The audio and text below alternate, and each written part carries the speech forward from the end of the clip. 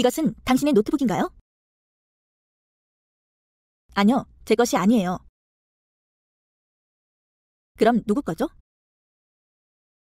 아버지 거예요. 당신은 자동차가 있나요? 아니요, 자동차는 없어요. 당신 소유의 집이 있나요? 아니요, 아직요. 저는 어머니 집에서 살아요. 저도요. 저도 아직 제 집이 없어요. 하지만 제 여동생은 최근에 집을 샀어요. 당신은 가족이 몇 명이에요? 네 명이에요.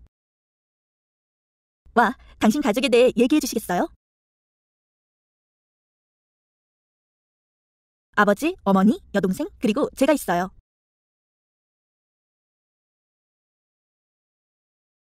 애완동물이 있나요? 네, 개를 한 마리 키워요. 제 개는 털이 흰색이에요. 저는 고양이를 한 쌍 키워요. 쇼핑하러 가시겠어요? 네, 그러고 싶어요. 당신 책을 빌려도 될까요? 네, 여기 있어요. 저 좀 도와주실 수 있나요? 네, 가능해요. 무슨 일이에요? 이 테이블 좀 치워주시겠어요? 네, 저쪽으로 옮기는 것이 좋겠네요. 무엇을 도와드릴까요? 네, 콜라 한 잔 주시겠어요? 다이어트 콜라는 어때요? 할인 중이에요. 네, 부탁드려요. 저 치즈버거는 어떤가요? 잘 선택하셨어요. 감자튀김이랑 같이 드셔보시겠어요?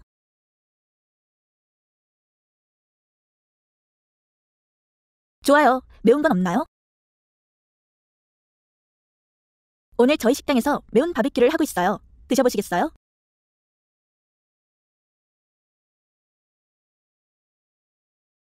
손님들을 위한 칠리 소스가 있어요. 서울로 가는 9시 30분 열차를 어디서 탈 수 있는지 알려주시겠어요?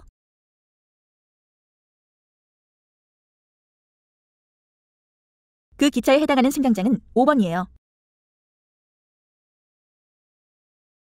좀 더 일찍 그 기차를 탈 수 있을까요? 잘 모르겠네요. 기차역에 근무하는 직원에게 물어보세요.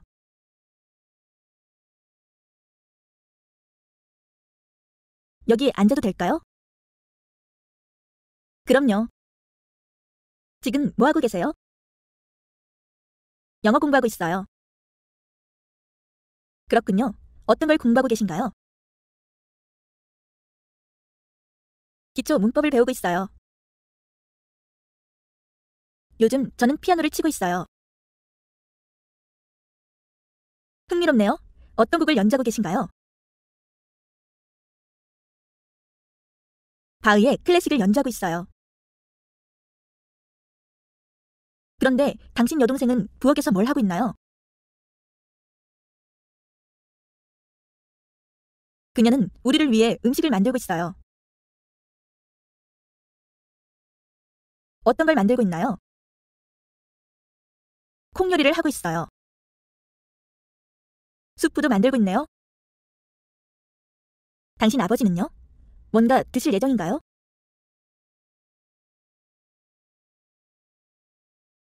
마당에서 울타리를 칠하고 계세요. 아버지가 배가 고프실지는 잘 모르겠네요.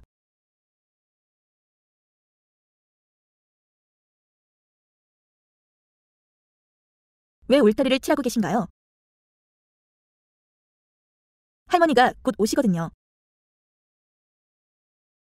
그렇군요. 아버지는 은퇴 후 무엇을 하실 계획이신가요?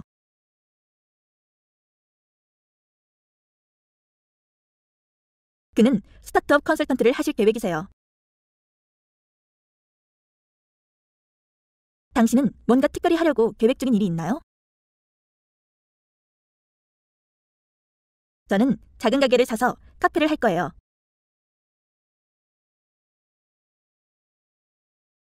휴가는 잘 보냈나요? 네, 봉사활동을 했어요. 네, 요가를 배웠어요. 어땠나요? 정말 좋은 경험이었어요. 어제는 무엇을 했나요? 컴퓨터 게임을 했어요.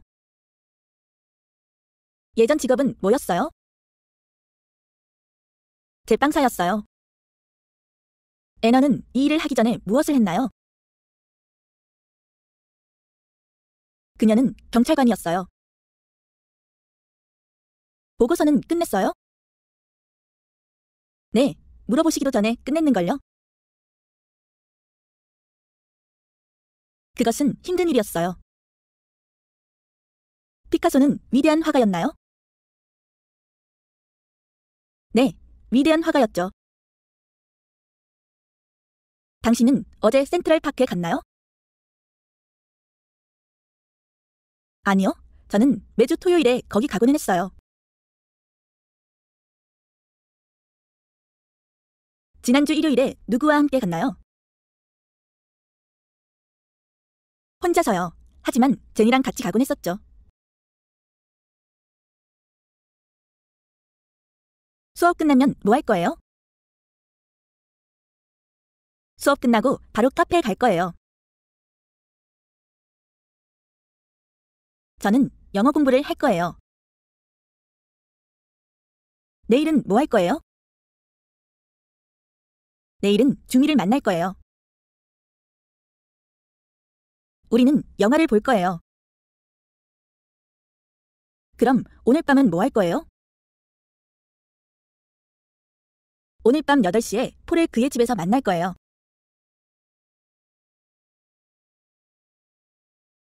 저는 5시까지 수업이 있는데 그 후에는 시간이 나요.